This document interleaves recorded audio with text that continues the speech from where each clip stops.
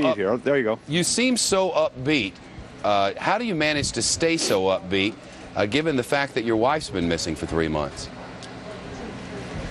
Oh, it's just you know you do what you can. You know, I'm not going to go hide in the corner and cry about it. You know, it's just like I personally uh, grieve over it. Uh, uh, but I do that all on my own. So. Uh, How, how has this affected your we called children?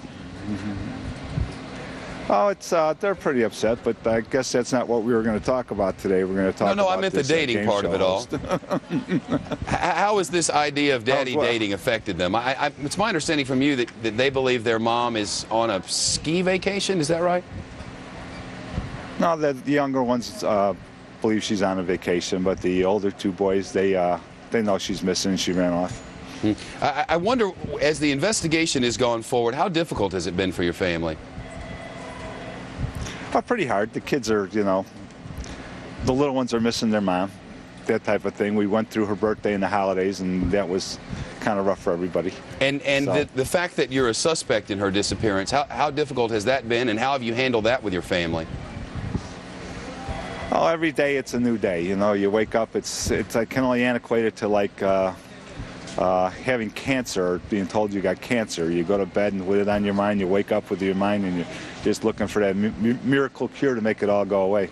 The, the neighbors said that they saw you carrying out a, a big blue barrel that would be big Again, enough. again, again, Shepard. That's not what we agreed to talk about. You know, Oh, I, I didn't. I didn't agree to any any uh, restrictions on conversation. I would never do that.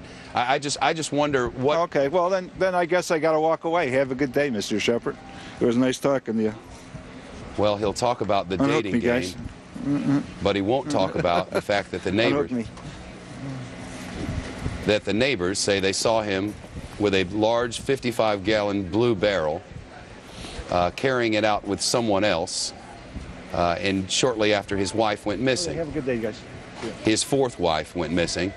His third wife died in a dry bathtub, and now authorities have exhumed her body, and it is now widely believed that her, his third wife may also have been murdered. Drew Peterson, a suspect in the disappearance of his fourth wife, who was in, in fun, as he put it, considering a dating game, though he's still married to the mother of his children. Drew Peterson, the former Bolingbrook police sergeant, now suspected in the disappearance of his wife and going back to the friendly confines of his home as neighbors and friends of Stacy Peterson wonder where in the world she is.